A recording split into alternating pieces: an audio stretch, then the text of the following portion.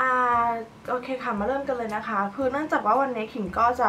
มาเน้นการแต่งหน้าแบบยิบย่อยที่เหลือนะคะ ก็เลยลงรองพื้นไปแล้วเนาะโดยที่พาเลตในวันนี้ คือนางดูดีมาก เอาเข้าจริงปะเที่ยวเขียนคือนางก็คงก๊อปพาเลตเลยนะ d e s e r t อะไรสักอย่างเพราของ Huda Beauty พาเลตล่าสุดนะคะ เดี๋ยวจะขึ้นรูปไว้ตรงนี้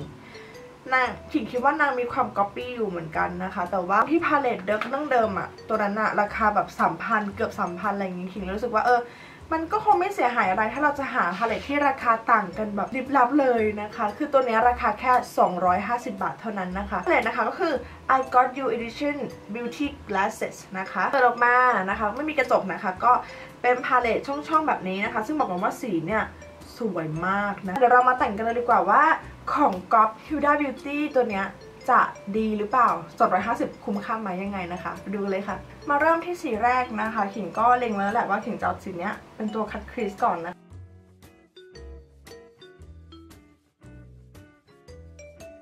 เฮ้ย คือแบบ pigment สวยมาก แต่คือมันก็ไม่ได้แบบว่า blend ง่ายแบบว่าดีอะไรขนาดนั้นนะคะ แต่คือสีสีเข้มมากคือแบบ pigment แน่นอะแล้วก็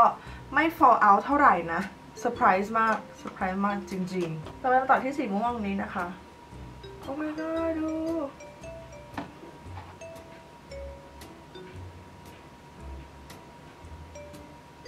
เฮ้ย เห็นว่ามันไม่มี fall out เลยอะเฮ้ย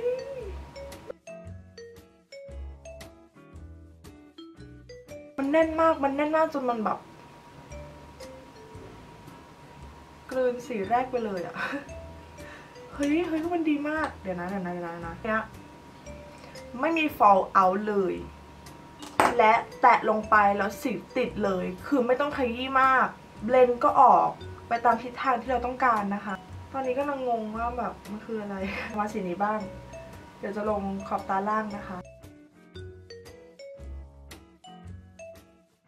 ไปสีที่น้ำตาลตรงนี้บ้างนะคะ หูพิกเมนต์แบบ สวยมาก สวยมากงงอะเดี๋ยวขิงจะใช้สีม่วงเข้มเดี๋ยวขิงใช้สีม่วงเข้มตรงนี้นะคะ ลงช่วงหางตาเพิ่มนะคะ มันจะได้ดูแบบว่ามีความแบบลึกลับน่าค้นหามากกว่านี้หน่อย คือตอนเนี้ยสวยแล้วอยากได้อีกเส้นไฮไลท์ของพาเลตนี้นะคะ มันอยู่ที่ช่องนี้ที่เป็น glitter อะ ติดมันสวยด้วยอะมันแน่นดีจังเลยอะงง มันไม่ร่วงเลยอะอะถ้ามันเป็น glitter แบบเม็ดๆนะคะ แล้วคือใช้แปรงก็ติดดี คือหลุดออกไปเกือบหมดละ ดูอวยเกินไปปะดีจริงๆอะนี่คือพูดหน้านิ่งเลยนะ งงอยู่ งงจริง โอเค เดี๋ยวอขอเขียนอายไลเนอร์ติดขนตาแล้วก็ มาแต่งอย่างอื่นให้เสร็จกันต่อนะคะวันนี้ขิงจะข้ามขั้นตอน contour แล้วก็ bronzer ออกนะคะ เพราะว่าอยากให้ลุคมันดูแบบ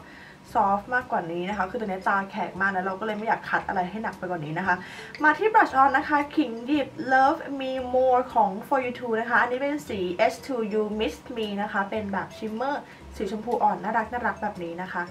ก็เดี๋ยวจะปัดช่วงแบบใกล้ ๆ ตาหน่อยนะคะกลางๆหน้าใกล้ ๆ ตาหรือพวกนี้ soft ลงแบบไม่มีเหตุผลเลยนะไฮไลท์ในวันนี้ขิงหยิบของ Wet n Wild ตัวใหม่มานะคะ อันนี้ไม่ชื่อว่า Highlighter Powder นะคะ E 3 2 1 B นะคะ เป็นแบบนี้ เห็นไหมจะบอกว่าตัวเนี้ยดีงามมาก ดีงามมาก ๆ แค่ 390 บาทแต่ดูนะ เห็นปะคุณเห็นหรือไม่ คุณเห็นสิ่งที่เกิดขึ้นหรือไม่ เนี่ยแหละที่เขาเรียกว่าไฮไลท์นะเข้าใจไหมเป็นยังไงฟินเนาะและเพื่อ complete look นี้ให้เสร็จนะคะ เราก็จะไปที่ลิปส์กันนะคะ ลิปส์วันนี้ขิงหยิบของ Star มานะคะ Blooming Flower นะคะ Velvet Matte Liquid Lip นะคะเบอร์04 นะคะแพ็กเกจบอกเลยว่า Ustar ตัวนี้ก็ มาแรงนะแพ็กเกจน่ารักมากดูเป็นแบบมิกกี้เมาส์เป็นหัวมิกกี้เมาส์มินนี่เมาส์นะน่ารักอะน่ารักจริงดูสิใครจะไปรู้ว่ามันมันคือลิปสติกอะน่ารักมากสีสวยนะ